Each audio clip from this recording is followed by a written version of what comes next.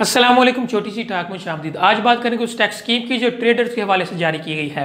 F B are का मौकफ़ा, जो trade bodies हैं, उनके मुतालबात को सामने रखकर इसको तैयार किया गया। उन मुतालबात में सैर फहरिस्त था जी टैक्स का पेचीदा तरीक़ेकार, मुश्किल तरीन रिटर्न फॉर्म्स और सबसे बढ़कर जो टैक्स हुकाम के साथ डायरेक्ट इंटरेक्शन है, जो अब्यूज़ हरासा करने करप्शन और रिश्वत स्थानी पर मुंतज होता है। उसके हाथ में के लिए स्कीम को तैयार किया गया है। इसका ड्राफ्ट पब्लिक के लिए ओपन है। बाद में कैबिनेट की अप्रूवल के बाद इसको लागू कर दिया जाएगा। यह सब कुछ 30 सितंबर से पहले होगा, क्योंकि स्कीम जो है वो टैक्स ईयर 2019 को कवर करती है। इसका जो इंग्लिश और उर्दू वर्जन है, उसके डिस्क्रिप्शन में मैंने लिंक दे दी है, आप जाकर देख सकते हैं। इसके अलावा अगर आप डिटेल में इसको पढ़ना चाहें तो मेरा ब्लॉग छोटी सी डॉट कॉम आप विज़िट कर सकते हैं। तो आइए देखते हैं कि इसके जो पर्टिकुलर्स हैं, स्कीम के, वो क्या हैं। पहले है जी वो कौन से ट्रेडर्स होलसेलर्स रिटेलर्स जो हैं उसके यानी स्कीम के तहत जो है वो अपना टैक्स फ़ाइल कर सकेंगे। सो so, वो ट्रेडर्स जिनका जो सालाना टर्नओवर है वो पाँच करोड़ रुपए से कम है वो स्कीम से फ़ायदा उठा सकते हैं स्कीम के तहत टैक्स फ़ाइल कर सकते हैं। इसके अलावा उनकी ज़ाती इन्वेस्टमेंट जो है वो भी इस बिज़नेस में या कारोबार में पाँच करोड़ से कम होनी चाहिए। उसके बाद है जी फिक्स जो फिक्स एसेट्स हैं वो आपके उस बिज़नेस में दस करोड़ रुपए से कम हो।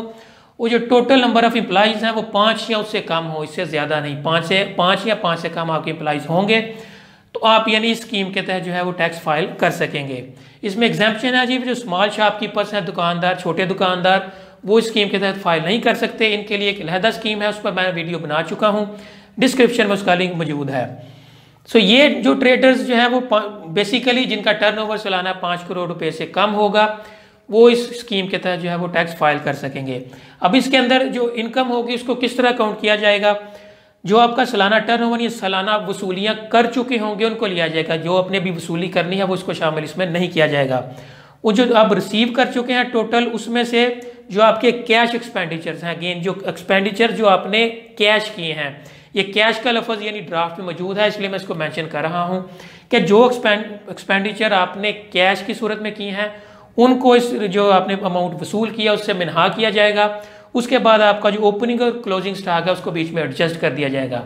बाकी जो बचेगा, वो आपकी उस साल की टैक्सेबल इनकम होगी। अब उस पर रेट कौन से लगाए जाएँगे? टैक्स रेट है जी, जो बिज़नेस टैक्स के जो स्लैब हैं, यानी इनकम फ्रॉम बिज़नेस के, जो इस बार, यानी उनमें थोड़ी बहुत चेंज की गई थी, उसके मुताबिक टैक्स रेट जो है वो चार्ज किया जाएगा। इसके ऊपर भी मैंने एक सेपरेट वीडियो बनाई है, जो इनकम फ्रॉम बिज़नेस के टैक्स स्लैब हैं, उसका लिंक भी डिस्क्रिप्शन में मौजूद है। अब आपका जो इनकम टोटल होगी उस पर उस रेट के मुताबिक टैक्स लगाया जाएगा और साथ में आपका जो सालाना टर्नओवर है उसका 1.5 परसेंट भी ले लिया जाएगा। अब इन दोनों अमाउंट्स में जो ज़्यादा होगी उसके मुताबिक आपको टैक्स पे करना पड़ेगा। दूसरे लफ्ज़ों में आप कह सकते हैं कि 1.5 परसेंट जो आपका टर्नओवर का है, ये मिनिमम टैक्स है। अगर तो अगर आपका जो यानी इनकम होगी, वो वाला टैक्स ज़्यादा होगा तो आप उस हिसाब से पे करेंगे, नहीं तो आपको अपने टर्नओवर का डेढ़ परसेंट जो है वो टैक्स की सूरत में लाजमी पे करना होगा। उसके बाद है रजिस्टर का, रजिस्ट्रेशन का तरीक़ेकार। रजिस्ट्रेशन के लिए आपको ऑनलाइन एफबीआर की वेबसाइट पर जाना पड़ेगा और आईआरएस का जो सिस्टम है उसके तहत आप अपने आप को रजिस्टर कर सकेंगे। एक और चीज़, अगर आपके पास एनटीएन मौजूद है और आपने पिछले पाँच साल से टैक्स रिटर्न फ़ाइल नहीं की तो फिर भी आप इस स्कीम के तहत जो है अपने आप को रजिस्टर करवा सकते हैं और टैक्स फ़ाइल कर सकते हैं। उसके लिए जो फ़ाइल करने के लिए रिटर्न फॉर्म्स हैं वो बड़े सिंपल से हैं। आइए आपको एक नज़र, वो मैं दिखा देता हूँ। जी आप एफबीआर की वेबसाइट पे आएँगे F B R dot G O V dot P K नीचे आइए फीचर्ड आर्टिकल्स में draft income tax special procedure rules इस पर क्लिक कीजिए। Income tax special procedure for traders draft English version इस पर आप क्लिक करेंगे तो ये ड्राफ्ट आपके सामने ओपन हो जाएगा।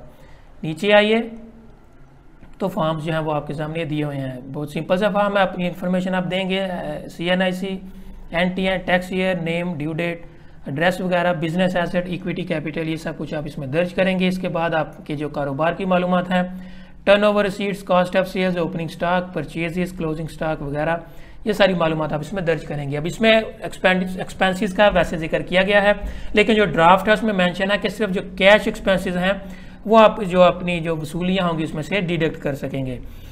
उसके बाद अपना बैंक अकाउंट वेरीफाई करें साइन एंड डेट और आपका ये फॉर्म जो है वो कंप्लीट हो जाएगा। उसके बाद आपने वेल्थ स्टेटमेंट जो है उसको फिल करना होगा।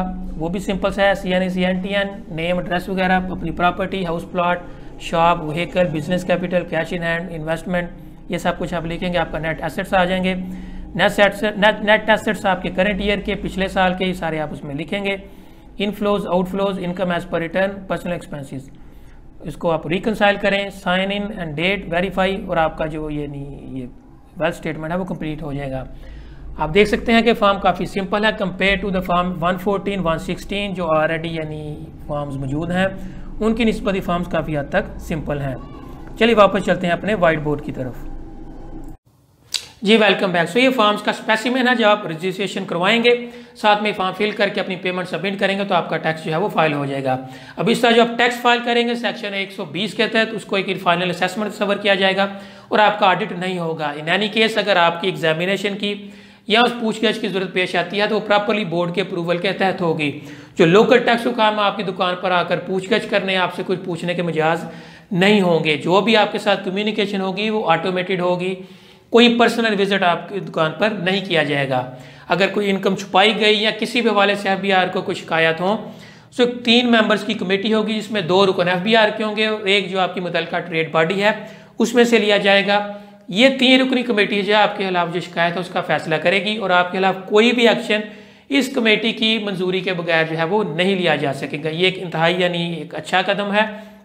यानी आपकी जो ट्रेड बॉडी है एसोसिएशन वो उस मामले में इन्वॉल्व होगी, यानी कि किसी सूरत में दुकानदार के खिलाफ या ट्रेडर के खिलाफ कोई शिकायत भी हो। इसके अलावा आपके ऊपर विद होल्डिंग टैक्स इकट्ठा करने की ज़िम्मेदारी नहीं होगी और आप एडवांस टैक्स भी पे कर सकते हैं, यानी किस्तों की सूरत में इंस्टॉलमेंट के साथ।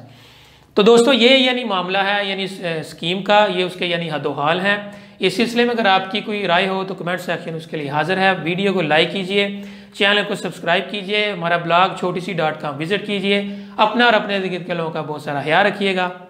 असलकम